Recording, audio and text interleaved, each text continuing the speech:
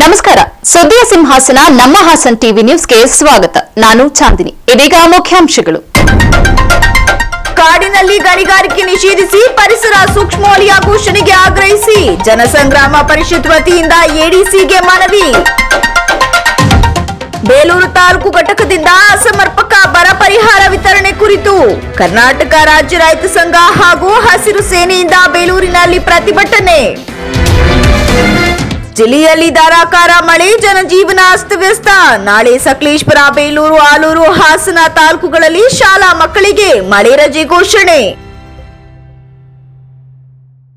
ಸಂಡೂರು ಭಾಗದಲ್ಲಿ ನೈಸರ್ಗಿಕವಾಗಿ ಬೆಳೆದ ಕಾಡಿನಲ್ಲಿ ಗಣಿಗಾರಿಕೆ ನಿಷೇಧ ಹೇರುವುದರ ಜೊತೆಗೆ ಪರಿಸರ ಸೂಕ್ಷ್ಮ ವಲಯವೆಂದು ಘೋಷಿಸಲು ಆಗ್ರಹಿಸಿ ಜನಸಂಗ್ರಾಮ ಪರಿಷತ್ ಸಂಘಟನೆಯಿಂದ ಹಾಸನದ ಅಪರ ಜಿಲ್ಲಾಧಿಕಾರಿ ಕೆಟಿ ಶಾಂತಲಾ ಅವರಿಗೆ ಮನವಿಯನ್ನ ಸಲ್ಲಿಸಿದರು. ಇದೇ ವೇಳೆ ಜನಸಂಗ್ರಾಮ ಪರಿಷತ್ ಮೈಸೂರು ವಿಭಾಗೀಯ ಕಾರ್ಯದರ್ಶಿ ಎಚ್ಆರ್ ಅಹಮದ್ ಅಲಿ ಖಾನ್ ಮಾಧ್ಯಮದೊಂದಿಗೆ ಮಾತನಾಡಿ, ರಾಷ್ಟ್ರಪಿತ ಮಹಾತ್ಮ ಗಾಂಧೀಜಿಯವರು ಸಾವಿರದ ಒಂಬೈನೂರ ಮೂವತ್ತರಲ್ಲಿ ಸಂಡೂರಿಗೆ ಭೇಟಿ ಕೊಟ್ಟಾಗ ಈ ಬೆಟ್ಟ ಗುಡ್ಡಗಳಲ್ಲಿನ ಹಚ್ಚ ಹಸಿರಿನ ಸೊಬಗನ್ನ ಆನಂದಿಸಿ, ಸಿ ಸಂಡೂರ್ ಇನ್ ಸೆಪ್ಟೆಂಬರ್ ಹೇಳುವುದರ ಮೂಲಕ ಈ ಕಾಡಿನ ಮಹತ್ವವನ್ನ ಬಣ್ಣಿಸಿದ್ದಾರೆ. ಪಶ್ಚಿಮ ಘಟ್ಟದ ವಿಶೇಷತೆಯನ್ನ ಹೋಲುವ ಸಂಡೂರು ತಾಲೂಕಿನ ರಾಮಮಲೈ ಮತ್ತು ಸ್ವಾಮಿಮಲೈ ಎರಡು ಬೆಟ್ಟಗಳನ್ನ ಹೊಂದಿವೆ. ಸ್ವಾಮಿಮಲೈ, ಕುಮಾರಸ್ವಾಮಿ ಬೆಟ್ಟ, ಅರಣ್ಯ ಪ್ರದೇಶದಲ್ಲಿ ಆರು ಮತ್ತು ಏಳನೇ ಶತಮಾನ ಚಾಲುಕ್ಯ ರಾಷ್ಟ್ರಕೂಟರ ಆಳ್ವಿಕೆಯಲ್ಲಿ ನಿರ್ಮಿಸಲ್ಪಟ್ಟಿರುವ ರಾಷ್ಟ್ರೀಯ ಸಂರಕ್ಷಿತ ಐತಿಹಾಸಿಕ ಪೌರಾಣಿಕ ಹಿನ್ನೆಲೆಯಿರುವ ಕಾರ್ತಿಕೇಯ, ಕುಮಾರಸ್ವಾಮಿ, ಪಾರ್ವತಿ ದೇಗುಲಗಳು ಪ್ರವಾಸಿಗರನ್ನು ಆಕರ್ಷಿಸುತ್ತಿವೆ ಅಂತ ಹೇಳಿದ್ರು. ಸರ್, ನನ್ನ ಹೆಸರು ಎಚ್ ಆರ್ ಅಹಮದ್ ಅಲಿ ಖಾನ್ ಅಂತ ಹೇಳಿ.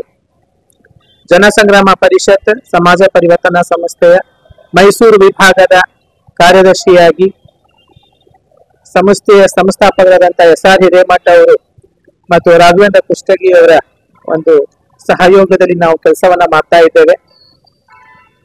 ಮೊದಲಿಗೆ ಅವ್ರಿಗೂ ನಮಸ್ಕಾರವನ್ನ ತಿಳಿಸುತ್ತಾ ಇವತ್ತಿನ ವಿಚಾರವನ್ನ ಹೇಳಲಿಕ್ಕೆ ಇಷ್ಟಪಡ್ತೇನೆ. ಏನು ಬಳ್ಳಾರಿ ಜಿಲ್ಲೆಯ ಸಂಡೂರು ತಾಲೂಕಿನಲ್ಲಿ ಅಕ್ರಮವಾಗಿ ಗಣಿಗಾರಿಕೆ ನಡೀತಾ ಇತ್ತು, ಅದನ್ನ ಸರ್ಕಾರದಿಂದ ಅದನ್ನ ತಡೆ ಹಿಡಿದಿದ್ರು ಕೂಡ, ಕೋರ್ಟ್ ಆದೇಶ ಇದ್ರೂ ಕೂಡ ಇವತ್ತಿನ ಮಾನ್ಯ ಕೇಂದ್ರೀಯ ಗಣಿಗಾರಿಕೆ ಸಚಿವರಾದಂತಹ ಎಚ್ ಡಿ ಕುಮಾರಸ್ವಾಮಿ ಅವರು ಏನು ಅನುಮೋದನೆ ನೀಡಿದ್ದಾರೆ, ಇದರ ವಿರುದ್ಧವಾಗಿ ಇವತ್ತು ನಾವು ಇದು ಹೋರಾಟವನ್ನ ಮಾಡ್ತಾ ಇದ್ದೇವೆ. ನಾವು ಮಾನ್ಯ ರಾಜ್ಯದ ಮುಖ್ಯಮಂತ್ರಿಯವರಿಗೆ ನಾವು ಮನವಿಯನ್ನ ಮಾಡ್ತಾ ಇದ್ದೇವೆ. ಅಲ್ಲಿ ಇರುವಂತಹ ಬಹಳಷ್ಟು ಪ್ರಾಣಿ ಪಕ್ಷಿಗಳು ಜೀವ ಜಂತುಗಳು ಜಲಚರ ಪ್ರಾಣಿಗಳಿಗೂ ಕೂಡ ಅನಾಹುತ ಆಗ್ತಾ ಇದೆ. ಆ ಒಂದು ಬೆಟ್ಟಕ್ಕೆ ಕುಮಾರಸ್ವಾಮಿ ಬೆಟ್ಟ ಅಂತ ಹೇಳ್ತೇವೆ. ರಾಮಮಲೈ ಬೆಟ್ಟ ಅನ್ನುವಂತ ದೇವಸ್ಥಾನಗಳಿದೆ. ನೈಸರ್ಗಿಕವಾಗಿ ಉಳಿದಿರುವಂತಹ ಒಂದು ಬಹಳ ಅತ್ಯುತ್ತಮವಾದಂತಹ ಒಂದು ಪ್ರದೇಶ ಇದಾಗಿದೆ.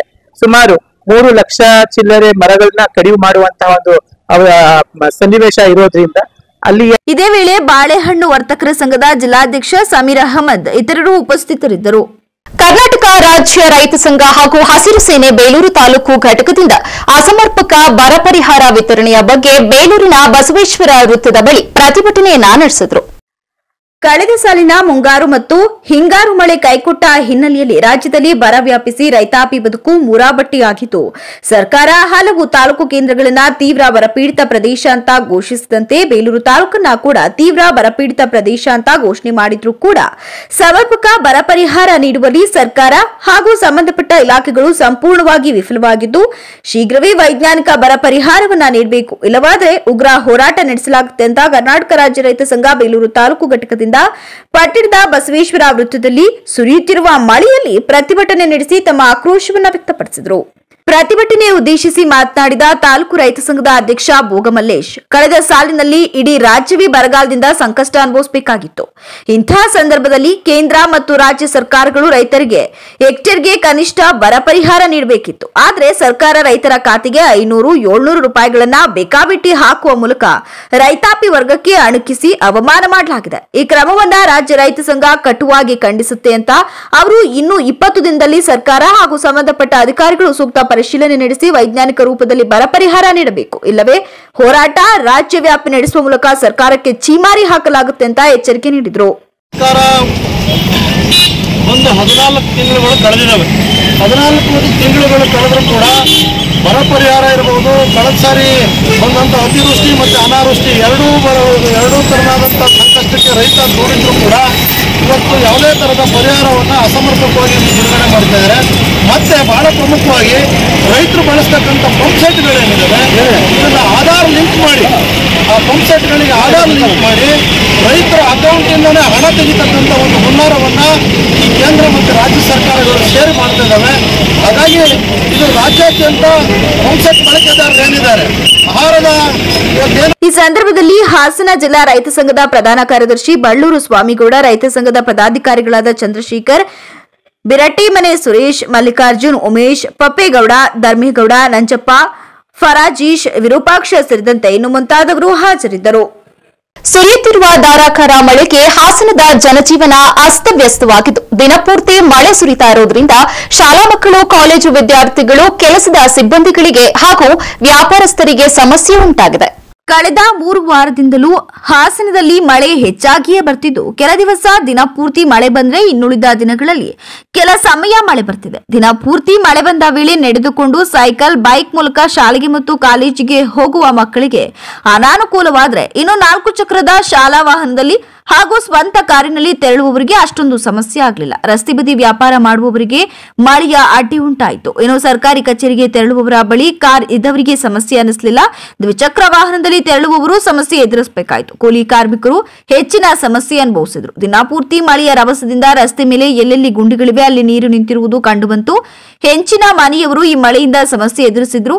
ಹವಾಮಾನ ಇಲಾಖೆ ವರದಿ ಪ್ರಕಾರ ಇನ್ನೆರಡು ದಿವಸಗಳ ಕಾಲ ಈ ಮಳೆ ಇನ್ನೂ ಹೆಚ್ಚಾಗಲಿದೆ ಅಂತ ಮಾಹಿತಿ ಲಭ್ಯವಾಗಿದೆ. ಪತ್ರಿಕಾ ವೃತ್ತಿ. ಪ್ರಜಾಪ್ರಭುತ್ವಕ್ಕೆ ರಕ್ತವನ್ನ ಪಂಪ್ ಮಾಡುವಂತಹ ಹೃದಯ. ಇನ್ನು ಹದಿನೈದು ದಿನಗಳಲ್ಲಿ ಗ್ರಾಮೀಣ ಪತ್ರಕರ್ತರಿಗೆ ಬಸ್ ಪಾಸ್ ನೀಡಲಾಗುವುದು ಎಂದು ಮುಖ್ಯಮಂತ್ರಿ ಮಾಧ್ಯಮ ಸಲಹೆಗಾರ ಕೆವಿ ಪ್ರಭಾಕರ್ ಹಾಸನದಲ್ಲಿ ವಿಶ್ವಾಸ ವ್ಯಕ್ತಪಡಿಸಿದರು.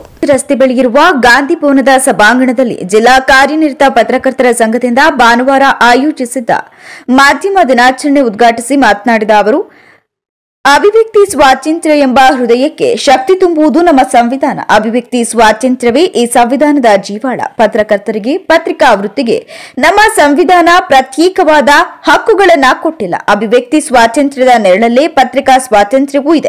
ಹೀಗಾಗಿ ಸಂವಿಧಾನದ ರಕ್ಷಣೆಯಿಂದ ಮಾತ್ರ ಪತ್ರಿಕಾ ಸ್ವಾತಂತ್ರ್ಯದ ರಕ್ಷಣೆ ಸಾಧ್ಯ ಅಂತ ಹೇಳಿದ್ರು.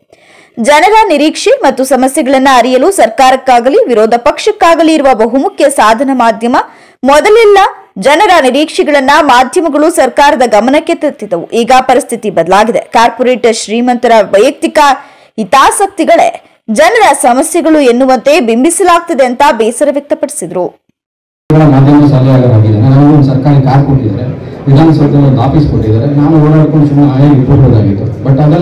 ನಮ್ಮ ಆಫೀಸ್ಗೆ ದಿನನಿತ್ಯ ನೂರಾರು ಪತ್ರಿಕರ್ತರು ಬರ್ತಾರೆ.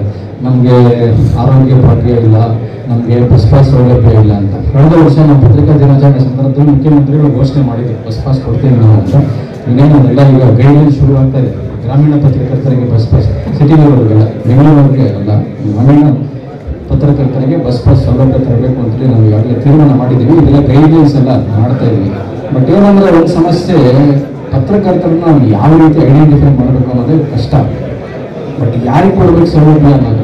ಈಗ ನಾನು ಒಬ್ಬ ಜಿಲ್ಲಾ ಮಟ್ಟದ ಜಿಲ್ಲಾ ಮಟ್ಟದ ಪತ್ರಿಕೆ ಸಂಪಾದಕರು ಹೋಗಿ ನಿಮ್ಮ ಹತ್ರ ಎಷ್ಟು ಜನ ಕೆಲಸ ಮಾಡ್ತಾ ಇದ್ದಾರೆ ರಿಪೋರ್ಟ್ಗಳು ಮತ್ತೆ ಅಪಾಯಿಂಟ್ಮೆಂಟ್ ಇದೇ ಸಂದರ್ಭದಲ್ಲಿ ಪತ್ರಕರ್ತರ ಸಂಘದ ರಾಜ್ಯಾಧ್ಯಕ್ಷ ಶಿವಾನಂದ ತಗ್ಡೂರು ವಸತಿ ಸಚಿವ ಜಮೀರ್ ಅಹಮದ್ ಅವರ ಮಾಧ್ಯಮ ಕಾರ್ಯದರ್ಶಿ ಲಕ್ಷ್ಮೀನಾರಾಯಣ, ಸಂಸದ ಶ್ರೇಯಸ್ ಪಟೇಲ್, ಕ್ಷೇತ್ರದ ಶಾಸಕ ಎಚ್ ಪಿ ಸ್ವರೂಪ್, ಪೊಲೀಸ್ ವರಿಷ್ಠಾಧಿಕಾರಿ ಮೊಹಮ್ಮದ್ ಸುಜೀತಾ, ರಾಜ್ಯ ಕಾರ್ಯಕಾರಿ ಸಮಿತಿ ಸದಸ್ಯ ಮದನ್ ಗೌಡ, ಬಾಲಭವನ ಅಧ್ಯಕ್ಷ ಬಿಆರ್ ನಾಯ್ಡು, ತೆಂಗಿನನಾರು ಅಭಿವೃದ್ಧಿ ನಿಗಮದ ಅಧ್ಯಕ್ಷರಾದ ನಟರಾಜು, ಜಿಲ್ಲಾ ಸರ್ಕಾರಿ ನೌಕರರ ಸಂಘದ ಅಧ್ಯಕ್ಷ ಇ ಕೃಷ್ಣೇಗೌಡ ರಾಜ್ಯ ಕಾರ್ಯಕಾರಿ ಸಮಿತಿ ವಿಶೇಷ ಆಹ್ವಾನಿತರಾದ ರವಿ ನಾಕ್ಲಗೂಡು ವಾರ್ತಾಧಿಕಾರಿ ಮೀನಾಕ್ಷಮ್ಮ, ಜಿಲ್ಲಾ ಪತ್ರಕರ್ತರ ಸಂಘದ ಮಾಜಿ ಅಧ್ಯಕ್ಷೆ ಲೀಲಾವತಿ, ಪತ್ರಕರ್ತರ ಸಂಘದ ಜಿಲ್ಲಾಧ್ಯಕ್ಷ ಕೆಎಚ್ ವೇಣುಕುಮಾರ್, ಉಪಾಧ್ಯಕ್ಷ H T Mohan Kumar KM Harish, DB Mohan Kumar ಪ್ರಧಾನ ಕಾರ್ಯದರ್ಶಿ ಬಿಸಿ ಶಶಿಧರ್, ಕಾರ್ಯದರ್ಶಿ ಸಿಬಿ ಸಂತೋಷ್ ಪಿಎಚ್ ಶ್ರೀನಿವಾಸ್ ಖಜಾಂಜಿ ಕುಮಾರ್ ಹಾಗೂ ಸಂಘದ ಪದಾಧಿಕಾರಿಗಳು, ಕಾರ್ಯಕಾರಿ ಸಮಿತಿ ಸದಸ್ಯರು ಸೇರಿದಂತೆ ಇತರರು ಉಪಸ್ಥಿತರಿದ್ದರು. ಹಾಸನದ ಬಿಎಂ ರಸ್ತೆಯ ಕುವೆಂಪು ಬಡಾವಣೆಯಲ್ಲಿರುವ ಲಯನ್ ಸೇವಾ ಸಂಸ್ಥೆಯ ಎರಡ್ ಸಾವಿರದ ಇಪ್ಪತ್ನಾಲ್ಕು ಇಪ್ಪತ್ತೈದನೇ ಸಾಲಿನ ನೂತನ ಅಧ್ಯಕ್ಷರಾಗಿ ಐಜಿ ರಮೇಶ್ ಆಯ್ಕೆಗೊಂಡಿದ್ದು ಪದಗ್ರಹಣ ಕಾರ್ಯಕ್ರಮವನ್ನು ಜಿಲ್ಲಾ ಮಾಜಿ ಗವರ್ನರ್ ವಿಜಯ್ ಕುಮಾರ್ ಶೆಟ್ಟಿ ನಡೆಸಿಕೊಟ್ರು. ನಂತರ ವಿಜಯ್ ಕುಮಾರ್ ಶೆಟ್ಟಿ ಮಾತನಾಡಿ, ಲಯನ್ಸ್ ಅಂದ್ರೆ ಈ ಅಕ್ಷರದಲ್ಲಿ ಸೇವೆಯ ಶಕ್ತಿಯನ್ನ ಹೊಂದಿದೆ. ಎಲ್ಲಾ ಕಡೆ ಸೇವೆಯನ್ನ ಜಾಗೃತಿಯಿಂದ ವಿಸ್ತಾರಗೊಳಿಸುವ ಮೂಲಕ ಕೆಲಸ ಮಾಡಬೇಕು. ಯಾರಿಗೆ ಅರ್ಹತೆ ಇರುತ್ತೆ ಅವರಿಗೆ ನಾವು ಸೇವೆಯನ್ನ ಸಲ್ಲಿಸ್ತಿದ್ದೇವೆ. ಸುನಾಮಿ, ಬರಗಾಲ, ಕೊರೋನಾ ಸೇರಿದಂತೆ ಇತರೆ ತುರ್ತು ಸಂದರ್ಭದಲ್ಲಿ ಲಯನ್ ಸೇವೆ ನೀಡಿದೆ. ನಮ್ಮ ಸಂಸ್ಥೆ ಮಾಡುವ ಎಲ್ಲಾ ಕೆಲಸವೂ ಅರ್ಥಪೂರ್ಣವಾಗಿರುತ್ತೆ ಅಂತ ಹೇಳಿದ್ರು. ಜಗತ್ತಿನಲ್ಲಿ ಅತ್ಯುನ್ನತಕ್ಕಿಂತ ಉತ್ತಮ ಒಂದಿದ್ರೆ ಅದು ಲಯನ್ಸ್ ಕ್ಲಬ್ ಅಂತ ಶ್ಲಾಘಿಸಿದ್ರು. ಸಮಾಜದಲ್ಲಿ ಒಂದು ಸೇವಾ ಮನೋಭಾವದ ಬೀಜ ಬಿತ್ತುವ ಮೂಲಕ ಮತ್ತೊಬ್ಬರಿಗೆ ಸೇವೆ ಮಾಡುವ ಮನಸ್ಸನ್ನ ಈ ಲಯನ್ಸ್ ತಂದು ಕೊಡುತ್ತೆ ಅಂತ ಹೇಳಿದ್ರು. ನಾವು ಸೇವೆಯನ್ನ ಯಾವ ರೀತಿ ನೋಡ್ತೇವೆ? ಅದು ಸಮಾಜದಲ್ಲಿ ಒಂದು ಬದಲಾವಣೆ ತರುತ್ತೆ. ಹೆಸರು ಮಾಡುವ ಉದ್ದೇಶದಲ್ಲಿ ಸಾಗಿದ್ರೆ ಅದು ಸೇವೆ ಆಗುವುದಿಲ್ಲ ಸ್ವಾರ್ಥವಾಗುತ್ತೆ ಅಂತ ಸಲಹೆ ನೀಡಿದ್ರು. ನಾವು ಸುಮ್ಮನೆ ಸೆಲೆಕ್ಟ್ ಮಾಡ್ಕೊಂಡು ಒಂದು ಅರ್ಥ ಇದೆಯಾ? ಅಂದ್ರೆ ಅರ್ಥ ಆಗಿದೆ L I O N S ಅಂದ್ರೆ liberty intelligence our nation safety ಆಗಿನ ಕಾಲಕ್ಕೆ ಸಾವಿರದ ಒಂಬೈನೂರ ಹದಿನೇಳರಲ್ಲಿ ತುಂಬಾ ಕೋಲ್ಡ್ ವಾರ್ಗಳಾಗ್ತಿತ್ತು ನಮ್ಮ ಸೇವೆನ ಎಲ್ಲ ಕಡೆ ಮಾಡುವಂತ ಸಮಯದಲ್ಲಿ ನಾವು ನಮ್ಮ ನೇಷನ್ ಸೇಫ್ಟಿ ಅಂದ್ರೆ ನಮ್ಮ ದೇಶದ ಜಾಗರೂಕತೆ ಬಗ್ಗೆ ಕೆಲಸ ಮಾಡಬೇಕು. ಈ ಒಂದು ಸರ್ವಿಸ್ ಆರ್ಗನೈಸೇಷನ್ ಇಂದ ಅದಕ್ಕೂ ಹೆಲ್ಪ್ ಆಗಬೇಕು ಅಂತ ಲಿಬರ್ಟಿ ಇಂಟೆಲಿಜೆನ್ಸ್ ಅವರ್ನೇಷನ್ ಸೇಫ್ಟಿ ಅನ್ನ ಮಾತನ್ನ ಇಟ್ಕೊಂಡು ಅಂದ್ರೆ ಒಂದು ಕ್ಯಾಪ್ಷನ್ ಅನ್ನು ಇಟ್ಕೊಂಡು ನಾವು ಈ ಸೇವೆಯನ್ನು ಪ್ರಾರಂಭ ಮಾಡ್ತೀವಿ ಖಂಡಿತ ಅವತ್ತಿನ ದಿವಸ ಲಿಬರ್ಟಿ ಇಂಟೆಲಿಜೆನ್ಸ್ ಅವರ್ನೇಷನ್ ಸೇಫ್ಟಿ ಆದ್ರೆ ಇವತ್ತು ಲಯನ್ಸ್ ಏನ್ ಮಾಡ್ತಾ ಇದೆ ಅಂದ್ರೆ loving individuals offering needed service lions ಅಂದ್ರೆ ಅದರ ಅರ್ಥವನ್ನು ಬೇರೆ ರೀತಿಯಲ್ಲಿ ನಾವು ಹೇಳಬೇಕಾದ್ರೆ loving individuals offering needed service ಅಂತ. ಅಂದ್ರೆ ನಾವು ಇವತ್ತಿನ ದಿವಸ ಯಾರಿಗೆ ಅಗತ್ಯ ಇದೆಯೋ ಅವರಿಗೆ ನಾವು ಸೇವೆಯನ್ನು ಸಲ್ಲಿಸ್ತೇವೆ ಅಂತ ಹೇಳಿ. ಹಾಗೆ ನಾವು ನೂರು ವರ್ಷದ ಒಂದು ಗಡಿ ದಾಟಿದಾಗ ನೂತನ ಹಾಸನ ಲಯನ್ಸ್ ಕ್ಲಬ್ ಅಧ್ಯಕ್ಷ ಐಜಿ ರಮೇಶ್ ಮಾತನಾಡಿ, ನಾನು ಲಯನ್ಸ್ ಕ್ಲಬ್ಗೆ ಬಂದ ದಿನದಿಂದಲೇ ನನಗೆ ಲಯನ್ಸ್ ಸೇವಾ ಮನೋಭಾವವನ್ನು ತಂದುಕೊಟ್ಟಿದೆ. ಪ್ರತಿಯೊಬ್ಬರಿಗೂ ಗೌರವ ಕೊಡುವ ಸಂಸ್ಕಾರ ತಿಳಿಸಿದೆ. ಒಂದು ಸಮುದ್ರದ ಒಂದು ದಡದಿಂದ ಇನ್ನೊಂದು ದಡಕ್ಕೆ ದಾಟಬೇಕಾದ್ರೆ ಒಬ್ಬರಿಂದ ಸಾಧ್ಯವಿಲ್ಲ. ಮತ್ತೊಬ್ಬರ ಸಹಾಯದ ಅವಶ್ಯಕತೆ ಇರುತ್ತೆ. ಲಯನ್ಸ್ ಎಂಬುದು ಸಮಾಜದಲ್ಲಿ ಸೇವೆ ಸಲ್ಲಿಸುವ ಎಂದರ್ಥ, ಎರಡ್ ಸಾವಿರದ ಇಪ್ಪತ್ನಾಲ್ಕು ಇಪ್ಪತ್ತೈದನೇ ಸಾಲಿಗೆ ನನ್ನನ್ನ ಲಯನ್ಸ್ ಕ್ಲಬ್ ಅಧ್ಯಕ್ಷನಾಗಿ ಆಯ್ಕೆ ಮಾಡಲಾಗಿದ್ದು, ಉತ್ತಮ ಸೇವೆ ಮಾಡಲು ಎಲ್ಲ ಹಿರಿಯರು ನನಗೆ ಸಹಕಾರ ಕೊಡುವಂತೆ ಮನವಿ ಮಾಡಿದ್ರು.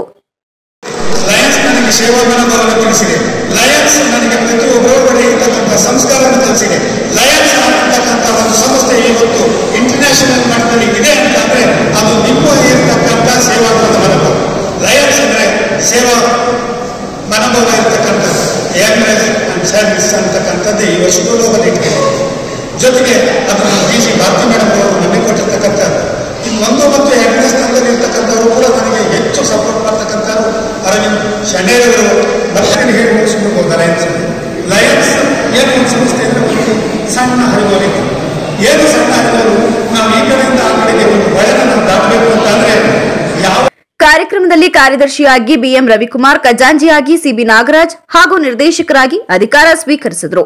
ಹಾಗೂ ಎಸ್ಎಸ್ಎಲ್ಸಿಯಲ್ಲಿ ಹೆಚ್ಚು ಅಂಕ ಪಡೆದ ರಕ್ಷಿತಾ ಹಾಗೂ ನೀಟ್ ಪರೀಕ್ಷೆಯಲ್ಲಿ ಹೆಚ್ಚು ಅಂಕ ಪಡೆದ ಗಗನ್ ಅವರನ್ನ ಸನ್ಮಾನಿಸಿ ಗೌರವಿಸಲಾಯಿತು. ಇನ್ನು ಸರ್ಕಾರಿ ಶಾಲೆಗೆ ಪುಸ್ತಕ, ಧನ ಸಹಾಯ ಮಾಡಿದ್ರು. ಲಯನ್ಸ್ ಕ್ಲಬ್ಗೆ ಜನರೇಟರ್ ನೀಡಿದ ವಿಶಾಲಾಕ್ಷಿ ದಂಪತಿಯನ್ನ ಸನ್ಮಾನಿಸಿ ಗೌರವಿಸಿದ್ರು. ಇದೇ ವೇಳೆ ಲಯನ್ಸ್ ಕ್ಲಬ್ ಎರಡ್ ಸಾವಿರದ ಇಪ್ಪತ್ತ್ ಮೂರು ಇಪ್ಪತ್ನಾಲ್ಕನೇ ಸಾಲಿನ ಅಧ್ಯಕ್ಷರಾಗಿ ಸೇವೆ ಸಲ್ಲಿಸಿ ನೂತನ ಅಧ್ಯಕ್ಷರಿಗೆ ಅಧಿಕಾರ ನೀಡಿದ ಎಚ್ ಕೆ ನಾಗೇಶ್, ಕಾರ್ಯದರ್ಶಿ ಸಿಕೆ ಕಿರಣ್ ಖಜಾಂಜಿ ಬಿಎಂ ರವಿಕುಮಾರ್, ಲಿಯೋ ಕ್ಲಬ್ ನೂತನ ಅಧ್ಯಕ್ಷರಾದ ಬಿಐ ಸುವರ್ಚಲ, ಕಾರ್ಯದರ್ಶಿ ಮೊನಾಲಿಗೌಡ ಖಜಾಂಜಿ ಡಿಜಿ ಚಿರಂತನ, ಪ್ರಿಯಾ ಕಿರಣ್, ಸನೂತನ ಲಿಯೋ ಎಂಸಿಇ ಅಧ್ಯಕ್ಷ ಬಿಪಿ ಶ್ರೇಯಾಂಕ್, ಕಾರ್ಯದರ್ಶಿ ಕೆಎಸ್ ಲಕ್ಷ್ಮಣ್ ಖಜಾಂಜಿ ನಿಖಿಲ್ ಪ್ರಭು, ಮಾಜಿ governor BV Hegde HS Manjunath Murthy, ವಲಯಾಧ್ಯಕ್ಷೆ Roopa Anand, ಪ್ರಾಂತೀಯ ಅಧ್ಯಕ್ಷ KG Nagaraj, Ashok Kumar, ambassador Mallesh Gowda, HR Chandregowda ಇತರರು ಉಪಸ್ಥಿತರಿದ್ದರು. ಬರ್ಮಾ ಬಜಾರ್ ಯಾವುದೇ ವಸ್ತುವನ್ನ ಕೊಳ್ಳಿರಿ ಡ್ರೂ ನೂರ ಮೂವತ್ತು ಮಾತ್ರ. ಮೊಟ್ಟ ಮೊದಲ ಬಾರಿಗೆ ಇದೀಗ ನಿಮ್ಮ ನಗರದಲ್ಲಿ ಬಸವೇಶ್ವರ ಕಲ್ಯಾಣ ಮಂಟಪ ಹೊಸ್ಲೈನ್ ರಸ್ತೆ ಹಾಸನ. ಸಂಪೂರ್ಣ ಗೃಹೋಪಯೋಗಿ ವಸ್ತುಗಳು ಹೋಲ್ಸೇಲ್ ದರದಲ್ಲಿ ಮಾರಾಟ. ಪ್ಲಾಸ್ಟಿಕ್ ವಸ್ತುಗಳು ಗಿಫ್ಟ್ ಐಟಂಗಳು ಟಾಯ್ಸ್ ವಸ್ತುಗಳು ಯಾವುದೇ ವಸ್ತುವನ್ನ ಕೊಳ್ಳಿರಿ ರು ನೂರ ಮೂವತ್ತು ಮಾತ್ರ. ಪ್ಲಾಸ್ಟಿಕ್ ಐಟಂಗಳು ಟಾಯ್ಸ್ ಐಟಂಗಳು ಗ್ಲಾಸ್ ಐಟಂಗಳು ಫೈಬರ್ ಐಟಂಗಳು ಬ್ರಾಸ್ ಐಟಂಗಳು ಸ್ಟೀಲ್ ಐಟಂಗಳು ಸ್ಟ್ಯಾಂಡ್ಗಳು ಬೇರುಗಳು ಪೊರಕೆಗಳು ಹ್ಯಾಂಡ್ ಬ್ಯಾಗ್ಗಳು ಗಡಿಯಾರಗಳು ಹೂವಿನ ಕುಂಡಗಳು ಪ್ಲಾಸ್ಟಿಕ್ ತಟ್ಟೆಗಳು ಚಮಚಗಳು ಲೇಡೀಸ್ ಬ್ಯಾಗ್ಗಳು ಸ್ಕೂಲ್ ಬ್ಯಾಗ್ಗಳು ಲೇಡೀಸ್ ಮತ್ತು ಜೆಂಟ್ಸ್ ಚಪ್ಪಲಿಗಳು ಎಲೆಕ್ಟ್ರಿಕ್ ವಸ್ತುಗಳು ಟಾಯ್ಸ್ ಐಟಂಗಳು ಟೆಡಿಬೇರ್ಗಳು ಊಟದ ತಟ್ಟೆಗಳು, ಕಸದ ಬುಟ್ಟಿಗಳು, ಟಿಫನ್ ಬಾಕ್ಸ್ಗಳು, ವಾಟರ್ ಬಾಟಲ್ಗಳು, ಕವರ್ಗಳು, ಪೆಲ್ಲೋ ಕವರ್ಗಳು, ಮ್ಯಾಟ್ಗಳು, ಡೋರ್ ಮ್ಯಾಟ್ಗಳು, ಚಾಪೆಗಳು, ತವಾಗಳು, ಸೋಫಾ ಸೆಟ್, ಪ್ಲಾಸ್ಟಿಕ್ ಐಟಂಗಳು, ಬಕೆಟ್ಗಳು, ಮ್ಯಾಟ್ ಮತ್ತು ಚಾಪೆಗಳು, ಗಿಫ್ಟ್ ಐಟಂಗಳು, ಗೃಹೋಪಯೋಗಿ ಮತ್ತು ಮನೆಗೆ ಬೇಕಾಗುವ ವಸ್ತುಗಳು ಮಾರಾಟ.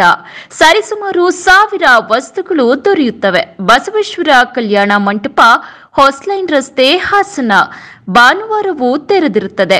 ಪ್ರಿಯ ಗ್ರಾಹಕರಲ್ಲಿ ವಿನಂತಿ, ಬರುವಾಗ ಕೈ ಚೀಲಗಳನ್ನ ತೆಗೆದುಕೊಂಡು ಬನ್ನಿ. ಬರ್ಮಾ ಬಜಾರ್, ಬಸವೇಶ್ವರ ಕಲ್ಯಾಣ ಮಂಟಪ, ಹೊಸ್ಲೈನ್ ರಸ್ತೆ ಹಾಸನ.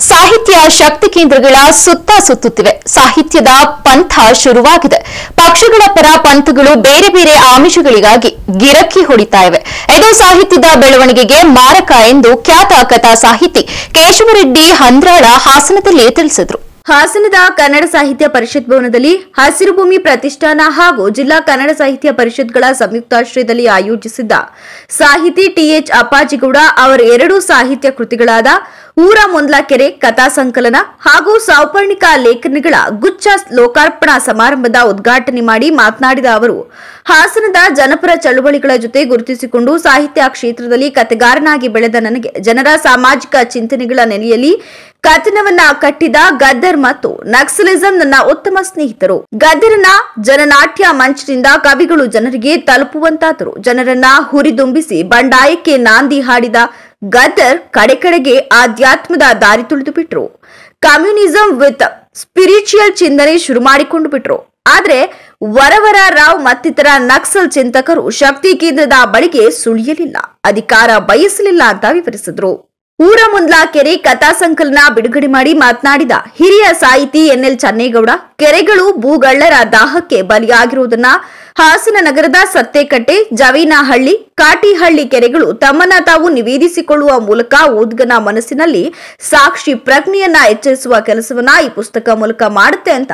ಅವರು ಸಾಹಿತಿ ಪುಸ್ತಕದಲ್ಲಿ ಕೇವಲ ಕೆರೆ ವಿವರ ನೀಡಿಲ್ಲ, ಅದು ಅದರಕ್ಕರಿಯ ಬದುಕಿನ ಪರಿಸ್ಥಿತಿ ಕೇಂದ್ರೀಕರಿಸಿ ಕೆರೆಯಿಂದ ಮಾತನಾಡಿಸ್ತಾರೆ. ಪುಸ್ತಕದ ಹದಿನೇಳು ಕಥೆಗಳಲ್ಲಿ ಐದು ಕತೆ ನಗರದ ಅಭಿವೃದ್ಧಿಯಿಂದ ಕೆರೆಕಟ್ಟೆ ಹಾಗೂ ಗ್ರಾಮೀಣ ಬದುಕಿಗೆ ಆಗುವ ಪ್ರತಿಕೂಲ ಚಿತ್ರಣವನ್ನ ಮನಜ್ಞವಾಗಿ ಕಟ್ಟಿಕೊಟ್ಟಿದ್ದಾರೆ ಎಂದ ಅವರು. ಇವರ ಎಲ್ಲಾ ಕಥೆಗಳು ನೆಲಮೂಲ ಸಂಸ್ಕೃತಿಯ ಜಾಡಿನಲ್ಲೇ ಗರಣಿಗಟ್ಟಿವೆ ಅಂತ ಒಂದೊಂದನ್ನೇ ವಿವರಿಸಿದ್ರು. ಯಾಕೆ ನಾನು ಹೇಳ್ತೀನಂದ್ರೆ ಈ ಊರ ಕೆರೆ ಅಂದ್ರೆ ಯಾವುದೇ ಒಬ್ಬ ಸಾಹಿತಿಗೆ ಅವನು ಕಥೆಗಾರ ಇರಲಿ, ಕಾದಂಬರಿ ಕಾಲ ಇರಲಿ ಅಥವಾ ಕವಿ ಇರಲಿ, ಅವನಿಗೆ ತನ್ನ ಬೇರುಗಳು ಕಾಣಬೇಕು. ಬೇರುಗಳು ಅಂದ್ರೆ ಅವನು ಹುಟ್ಟಿದ್ದು ಅವನ ಊರು ಕೇರಿ ಅವನ ಅಂದಿನ ಸಹಪಾಠಿಗಳು. ಅದು ಅವನನ್ನ ಕಾಣಿದ್ರೆ ಅವನು ಉತ್ತಮ ಸಾಹಿತ್ಯವನ್ನ, ಗಟ್ಟಿಯಾದ ಸಾಹಿತ್ಯವನ್ನ ಕೊಡಬಲ್ಲ ಯಾಕೆ ಗೊತ್ತಾ? ಬೇರುಗಳಲ್ಲಿ ನಾವು ಮುಂದೆ ಈ ನಾನು ಸುಮಾರು ಜನ ನೋಡಿದ್ದೀನಿ ನಿಮಗೆ ಯಾರು ಪ್ರಭಾವ ಬೀರಿದ್ದು ಸಡನ್ ಯಾರ್ಯಾರ ಹೇಳೋದು? ಎರಡನೇ ಪುಸ್ತಕ ಸೌಪರ್ಣಿಕ ಲೇಖನಗಳ ಗುಚ್ಛ ಬಿಡುಗಡೆ ಮಾಡಿ ಮಾತನಾಡಿದ ಯುವ ಸಾಹಿತಿ ಪರಮೇಶ್ ಮಡಪಲು ಮಾತನಾಡಿ ಸೌಪರ್ಣಿಕ ಇಪ್ಪತ್ತೆರಡು ಲೇಖನಗಳ ಗುಚ್ಛ. ಬಹುತೇಕ ಲೇಖನಗಳು ಸಾಧಕರ ಕುರಿತು ದಾಖಲೆ ಮಾಡುತ್ತೆ. ಇಬ್ರಾಹಿಂ ಸುತಾರ, ಜಾಹೋನಾ ಸದೇಶ್ವರ ಸ್ವಾಮೀಜಿ ಹಾಗೂ ಇತರ ಸಾಧಕರ ಬದುಕಿನ ಎಳೆಗಳನ್ನ ಬಿಡಿಸುತ್ತಾ ಹೋಗುತ್ತೆ. ಹಾಗೆಯೇ ಕೊರೋನಾ ಕಾಲದಲ್ಲಿ ಲೇಖಕ ದಂಪತಿಗಳು ಇಂಗ್ಲೆಂಡ್ ಯಾತ್ರೆ ಮಾಡುವಾಗ ಅವರ ಮಡದಿಯ ಬ್ಯಾಗಿನೊಳಗಿನ ಕೊಬ್ಬರಿ ತಂದೊಡ್ಡಿದ್ದ ಎಡವಟ್ಟುಗಳನ್ನ ವಿಡಂಬನಾತ್ಮಕವಾಗಿ ದಾಖಲಿಸಿರುವುದು ರಸಸ್ವಾದ ನೀಡುತ್ತಾ ಸಾಗುತ್ತೆ. ಅದನ್ನ ಓದುಗರು ಓದಿಯೇ ಅನುಭವಿಸಬೇಕು ಅಂತ ತಿಳಿಸಿ ಮಾತೃಭಾಷೆ ಎನ್ನುವುದು ಪ್ರೀತಿಯ ಭಾಷೆ, ಅಮೃತ ತೂಗುವ ಭಾಷೆ, ಕನ್ನಡಿಗರ ಮನೆ ಮನೆಗಳಲ್ಲಿ ಹೇಗೆ ಬೆಳಗಬೇಕು ಎನ್ನುವುದನ್ನ ಸನ್ನಿವೇಶ ಅನುಭವಿಸಿ ಬರೆದ ಬರಹಗಳು ಮನ ಮುಟ್ಟುವಂತಿವೆ ಅಂತ ಹೇಳಿದ್ರು. ಎಂಬುದನ್ನ ನಾವು ಚಿಕ್ಕವರಾಗಿದ್ದಾಗ ದನ ಕಾಯುವಾಗ ಹುಲ್ಲೊಕ್ಕುವಾಗ ಈಜಾಡುವಾಗ ಹೇಗಿತ್ತು? ನಾವು ಏನು ಮಾಡ್ತಾ ಇದ್ವಿ ಎಂಬತಕ್ಕಂಥದ್ದನ್ನು ಒಂದು ಜನಪದ ಗೀತೆಯ ಮೂಲಕ ನಾನು ಹೇಳಿ ಆಮೇಲೆ ಮುಂದುವರಿಯಲಿಕ್ಕೆ ಇಷ್ಟಪಡ್ತೇನೆ. ಊರ ಮುಂದಿನ ಕೆರೆ ಕೂಬ ಕೇಳುವರೇ ನಮ್ಮೂರ ಗಾಲಿ ಮಗ. ಊರ ಮುಂದಿನ ಕೆರೆಯ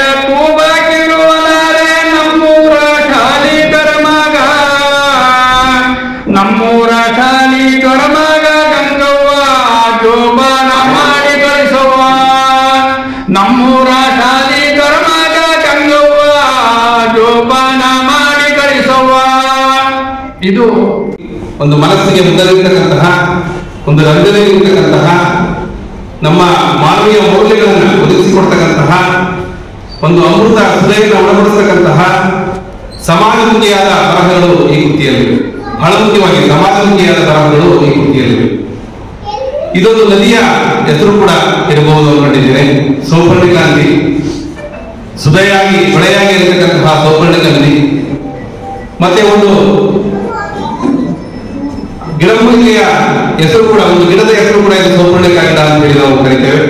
ಮತ್ತೆ ಅವರ ಮೊಮ್ಮಗಳ ಒಂದು ಹೆಸರು, ಮೊಮ್ಮಗುವಿನ ಒಂದು ಹೆಸರು ಕೂಡ ಅವರಿಗೆ ಸೌಪರ್ಣಿಕ ಅಂತಕ್ಕಂತಹ ಒಂದು ಮೊಮ್ಮಗುವಿನ ಹೆಸರನ್ನು ಕೂಡ ಇಟ್ಟಿರ್ತಕ್ಕಂಥದ್ದು ಸುದ್ದಿಯಾಗ ಅಂತ ಹೇಳಿ ಭಾವಿಸಿದ್ದೇನೆ. ಇವೆಲ್ಲವನ್ನು ಸೇರ್ಕೊಂಡು ಒಂದು ಸುಂದರವಾದ ಸೌಪರ್ಣಿಕಾಗಿದೆ ಒಂದು ವಿಶಿಷ್ಟವಾದಂತಹ ಬರವಣಿಗೆ ಇದರಲ್ಲಿ ಸುಮಾರು ಇಪ್ಪತ್ತೆರಡು ಲೇಖನಗಳ ಒಂದು ಗುಚ್ಛ ಇದೆ. ಇದೇ ಸಂದರ್ಭದಲ್ಲಿ ಮುಖ್ಯ ಅತಿಥಿಯಾಗಿ ಭಾಗವಹಿಸಿದ್ದ ಜಿಲ್ಲೆಯ ಹಿರಿಯ ಸಾಹಿತಿ ಹಾಡ್ಲಹಳ್ಳಿ ನಾಗರಾಜು, ಹಸಿರು ಭೂಮಿ ಪ್ರತಿಷ್ಠಾನದ ಅಧ್ಯಕ್ಷ ಆರ್ಪಿ ವೆಂಕಟೇಶಮೂರ್ತಿ ಕಾರ್ಯಕ್ರಮದ ಅಧ್ಯಕ್ಷತೆ ವಹಿಸಿದ್ದ ಹಿರಿಯ ಸಾಹಿತಿ ಅಗ್ರಹಾರ ಕೃಷ್ಣಮೂರ್ತಿ, ಹಸಿರು ಭೂಮಿ ಪ್ರತಿಷ್ಠಾನದ ಖಜಾಂಜಿ ಗಿರಿಜಾಂಬಿಕಾ, ಪ್ರತಿಷ್ಠಾನದ ಸದಸ್ಯೆ ಭವಾನಿ, ಟ್ರಸ್ಟಿ ಶಿವಶಂಕರಪ್ಪ, ಹಸಿರು ಸಿರಿ ಸಂಚಾಲಕ ಪುರುಷೋತ್ತಮ ಸೇರಿದಂತೆ ಇತರರು ಉಪಸ್ಥಿತರಿದ್ದರು.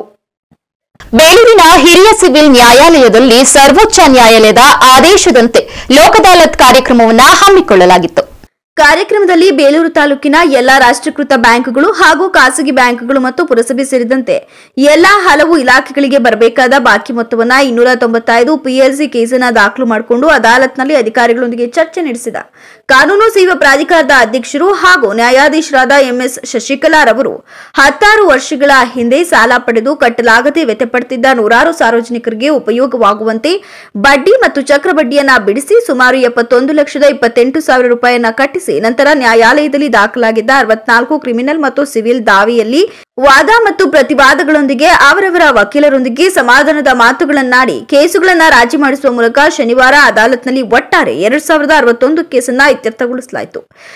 ಇದೇ ಸಂದರ್ಭದಲ್ಲಿ ನೂರಾರು ಕಕ್ಷಿದಾರರು, ವಕೀಲರು, ಬ್ಯಾಂಕ್ ವ್ಯವಸ್ಥಾಪಕರು, ನ್ಯಾಯಾಲಯದ ಸಿಬ್ಬಂದಿ ಗಿರಿಯಪ್ಪ, ರಮೇಶ್ ಪ್ರಕಾಶ್, ಇಂದುಮತಿ, ರಮ್ಯಾ, ಬಾನು, ಸವಿತಾ ಇತರರು ಹಾಜರಿದ್ದರು. ಸರ್ವ ಸದಸ್ಯರ ಸಹಕಾರದಿಂದ ಕಳೆದ ಸಾಲಿನಲ್ಲಿ ಅನೇಕ ರೀತಿಯ ಸಾಮಾಜಿಕ ಕಾರ್ಯಗಳನ್ನು ಯಶಸ್ವಿಯಾಗಿ ಪೂರ್ಣಗೊಳಿಸಲಾಗಿದೆ ಎಂದು ಹಾಸನದ ರೋಟರಿ ಸಂಸ್ಥೆಯ ನಿಕಟಪೂರ್ವ ಅಧ್ಯಕ್ಷ ರೋಟರಿಯ ಪೃಥ್ವಿ ಬಿಯು ಹೇಳಿದರು. ಬೇಲೂರು ತಾಲೂಕಿನ ಅರೆಹಳ್ಳಿಯ ರೋಟರಿ ಭವನದಲ್ಲಿ ಆಯೋಜಿಸಲಾಗಿದ್ದ ನೂತನ ಅಧ್ಯಕ್ಷರ ಪದಗ್ರಹಣ ಸಮಾರಂಭವನ್ನ ಉದ್ದೇಶಿಸಿ ಮಾತನಾಡಿದ ಅವರು, ರೋಟರಿ ಸಂಸ್ಥೆಯು ವಿಶ್ವದಲ್ಲಿ ಅತ್ಯುನ್ನತ ಸೇವಾ ಸಂಸ್ಥೆ ಎಂಬ ಹೆಗ್ಗಳಿಕೆ ಪಡೆದುಕೊಂಡಿದ್ದು, ನಾವೆಲ್ಲರೂ ಸಹ ಸಂಸ್ಥೆಯ ಧ್ಯೇಯೋದ್ದೇಶಗಳನ್ನು ಈಡೇರಿಸಲು ಕಟ್ಟಿಬದ್ಧರಾಗಿದ್ದೇವೆ ಎಂದು ತಿಳಿಸಿದರು.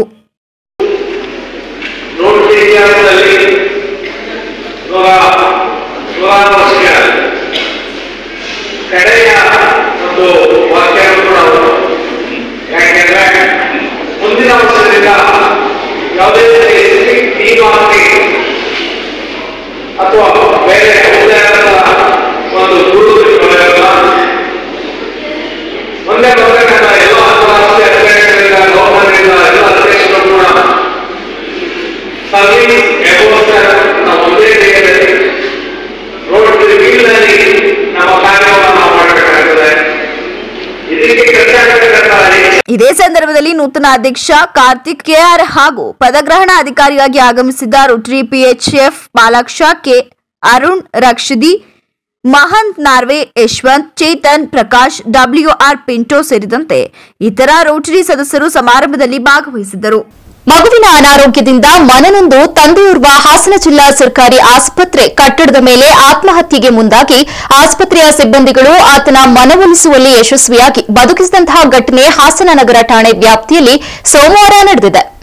ಬೇಲೂರು ತಾಲೂಕಿನ ಹಳೆಬೀಡು ಸಮೀಪದ ಬಸವರಾಯಪುರ ಗ್ರಾಮದ ಗಂಗಸ್ವಾಮಿ ಎಂಬುವರ ಎರಡು ತಿಂಗಳ ಮಗುವಿನ ಅನಾರೋಗ್ಯವು ಹೆಚ್ಚಾಗುತ್ತಿರುವ ಬಗ್ಗೆ ತಿಳಿದು ಬೇಸರದಿಂದ ಆತ್ಮಹತ್ಯೆಗೆ ಯತ್ನಿಸಿರುವುದಾಗಿ ಹೇಳಲಾಗಿದೆ.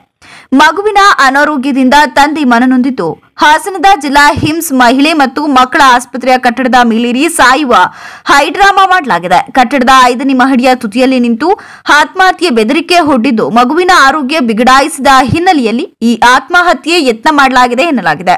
ಆಸ್ಪತ್ರೆ ಸಿಬ್ಬಂದಿಯ ಸಮಯ ಪ್ರಜ್ಞೆಯಿಂದ ಅನಾಹುತ ತಪ್ಪಿದಂತಾಗಿದೆ. ಗಂಗಸ್ವಾಮಿಯನ್ನ ಆಸ್ಪತ್ರೆ ಕಟ್ಟಡದಿಂದ ಕೆಳಗಿಳಿಸಿ ನಂತರ ಪೊಲೀಸ್ ಠಾಣೆಗೆ ಆಸ್ಪತ್ರೆ ಸಿಬ್ಬಂದಿಗಳು ಕರೆದುಕೊಂಡು ಹೋಗಿದ್ದಾರೆ.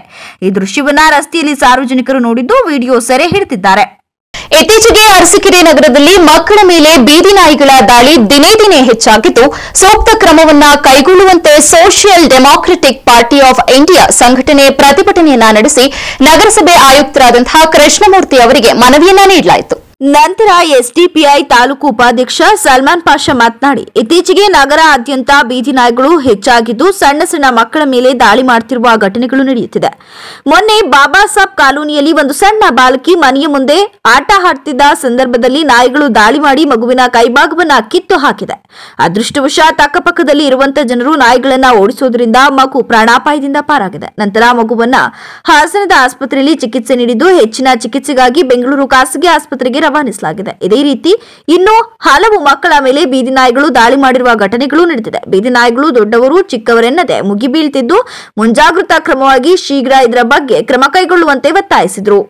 ನಂತರ ಮನವಿ ಪತ್ರವನ್ನ ಸ್ವೀಕರಿಸಿ ಆಯುಕ್ತರು ಕೃಷ್ಣಮೂರ್ತಿ ಅವರು ಮಾತನಾಡಿ, ಆದಷ್ಟು ಬೇಗ ಈ ಸಮಸ್ಯೆಯನ್ನ ಬಗೆಹರಿಸುವುದಾಗಿ ಆಶ್ವಾಸನೆಯನ್ನ ನೀಡಿದ್ರು. ಸಂತಾನ ನಿರ್ಭಯ, ಸ್ವಂತನಾಗಿ ಕೊಟ್ಬಿಟ್ಟಿದ್ದಾರೆ ಯಾಕಂದ್ರೆ ನೀವೇನು ಇದ್ದೀರಾ ಅದೇನೋ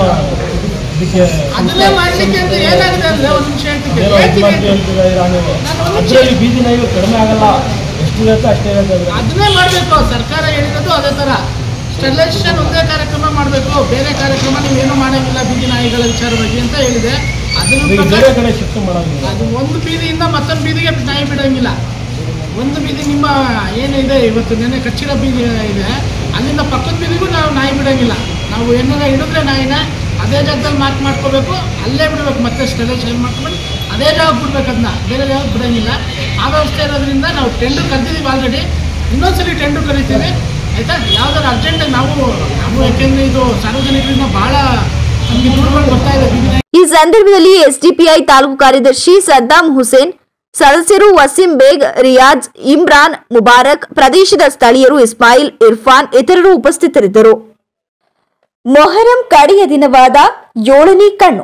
ಭಾನುವಾರ ಹೊಳೆನರಸೀಪುರ ಪಟ್ಟಣದ ಶಿಯಾ ಪಂಗಡದ ಮುಸ್ಲಿಮರು ರಕ್ತ ಬರುವಂತೆ ಸ್ವಯಂ ಶಿಕ್ಷೆ ವಿಧಿಸಿಕೊಂಡು ಪಟ್ಟಣದ ಮುಖ್ಯ ರಸ್ತೆಯಲ್ಲಿ ಮೆರವಣಿಗೆ ನಡೆಸಿ ಮೊಹರಂ ಶೋಕಾಚರಣೆಯ ಹಬ್ಬದ ಸಂಪ್ರದಾಯದ ಆಚರಣೆಯನ್ನು ಪಾಲಿಸುವ ಮೂಲಕ ಕೃತಾರ್ಥರಾದರು. ಕ್ರಿಸ್ತಶಕ ಆರ್ನೂರ ಎಂಬತ್ತರಲ್ಲಿ ಇರಾಕಿನ ಕರ್ಬಲಾ ಮರುಭೂಮಿಯಲ್ಲಿ ಅರಬ್ ದೊರೆ ಯಜೀದ್ ವಿರುದ್ಧ ಹತ್ತು ದಿನಗಳ ಕಾಲ ನಡೆದ ಯುದ್ಧದಲ್ಲಿ ಹುಸೇನರು ಹುತಾತ್ಮರಾಗ್ತಾರೆ. ಹುಸೇನ್ ಅವರ ಸಾವಿನ ಬಗ್ಗೆ ದುಃಖವನ್ನ ವ್ಯಕ್ತಪಡಿಸುವ ಜೊತೆಗೆ ಅವರ ತ್ಯಾಗವನ್ನ ನೆನಪಿಸಿಕೊಂಡು ಹುತಾತ್ಮರಾದ ಹುಸೇನರ ತ್ಯಾಗದ ಪ್ರತೀಕವಾಗಿ ಜನರು ಎದೆಗೆ ಹೊಡೆದುಕೊಳ್ಳುವುದು, ಹಣೆಗೆ ಬಡಿದುಕೊಳ್ಳುವುದು ಮತ್ತು ಯುದ್ಧ ಸಲಕರಣೆ ಹಿಡಿದುಕೊಂಡು ತಮ್ಮನ್ನು ತಾವೇ ಶಿಕ್ಷಿಸಿಕೊಳ್ಳುವ ಮೂಲಕ ರಕ್ತ ಬರುವಂತೆ ಸ್ವಯಂ ಶಿಕ್ಷೆ ವಿಧಿಸಿಕೊಂಡು ಶೋಕಾಚರಣೆ ಮಾಡ್ತಾರೆ. ಮೊಹರಂ ಮಾಸದಲ್ಲಿ ಯಾವುದೇ ಪ್ರಮುಖ ಸಂಭ್ರಮಾಚರಣೆ ಕೈಗೊಳ್ಳದೆ ಕಪ್ಪು ಬಟ್ಟೆ ಧರಿಸಿ ಶೋಕ ಅಥವಾ ದುಃಖ ಹೊರಹಾಕುವ ಹತ್ತು ದಿನಗಳ ಕಾಲ ಆಚರಣೆಯಲ್ಲಿರುತ್ತೆ. ಸಾಮಾನ್ಯವಾಗಿ ಹಬ್ಬವೆಂದರೆ ಸಂತೋಷ ಸಡಗರ ಇರುತ್ತೆ. ಮತ್ತು ಆದ್ರೆ ಮೊಹರಂ ದುಃಖದ ಸಂಕೇತ ಸೂಚಿಸುವ ಹಬ್ಬವಾಗಿದೆ. ಕೊನೆಯಲ್ಲಿ ಮತ್ತೊಮ್ಮೆ ಮುಖ್ಯಾಂಶಗಳು. ಕಾಡಿನಲ್ಲಿ ಗಣಿಗಾರಿಕೆ ನಿಷೇಧಿಸಿ ಪರಿಸರ ಸೂಕ್ಷ್ಮ ವಲಯ ಘೋಷಣೆಗೆ ಆಗ್ರಹಿಸಿ. ಜನಸಂಗ್ರಾಮ ಪರಿಷತ್ ವತಿಯಿಂದ ಎಡಿಸಿಗೆ ಮನವಿ. ಬೇಲೂರು ತಾಲೂಕು ಘಟಕದಿಂದ ಅಸಮರ್ಪಕ ಬರ ಪರಿಹಾರ ವಿತರಣೆ ಕುರಿತು ಕರ್ನಾಟಕ ರಾಜ್ಯ ರೈತ ಸಂಘ ಹಾಗೂ ಹಸಿರು ಸೇನೆಯಿಂದ ಬೇಲೂರಿನಲ್ಲಿ ಪ್ರತಿಭಟನೆ. ಜಿಲ್ಲೆಯಲ್ಲಿ ಧಾರಾಕಾರ ಮಳೆ, ಜನಜೀವನ ಅಸ್ತವ್ಯಸ್ತ. ನಾಳೆ ಸಕಲೇಶ್ಪುರ, ಬೇಲೂರು, ಆಲೂರು, ಹಾಸನ ತಾಲೂಕುಗಳಲ್ಲಿ ಶಾಲಾ ಮಕ್ಕಳಿಗೆ ಮಳೆ ರಜೆ ಘೋಷಣೆ.